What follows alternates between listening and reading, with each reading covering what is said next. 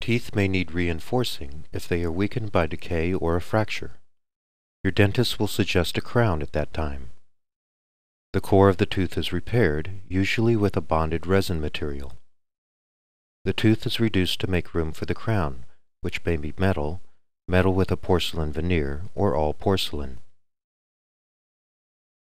An impression is taken of the prepared tooth. The crown is cemented over the tooth, rebuilding the contours and function of the tooth.